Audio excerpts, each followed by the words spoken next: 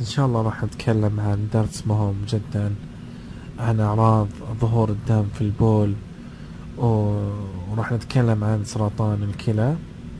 طبعا سرطان الكلى أو سرطان الكلية آه، يعاني الشخص في البداية سهولة آه، النزف من الورم السرطاني الموجود في الكلى ويشعر المصاب بالآلام شديدة جدا في منطقة الظهر هذه الأعراض. وأيضا يصيب آه، سرطان الكلية عادة الأطفال قبل السن العاشرة.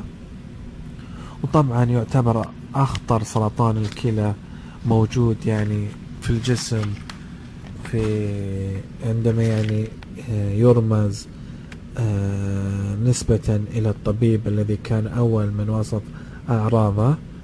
وطبعا علامات هذا المرض هو تضخم أحد جانبين البطن مع الشعور بآلام شديدة جدا آه، في المنطقة واضطرابات في عملية التبول مع نزول قطرات دم في البول وهذا خطير جدا. من الواجب استشارة الطبيب مباشرة وفحص المنطقة فحص مخبري وفحص آه، كمية خروج آه، البول وأيضا كمية خروج الدم. وأيضا من الضروري أخذ عينة إذا كان موجود ورم أو مرض أخ أمراض أخرى آه سوى عن طريق آه أخذ عينة جراحية أو أخذ عينة عن طريق أبرة معينة.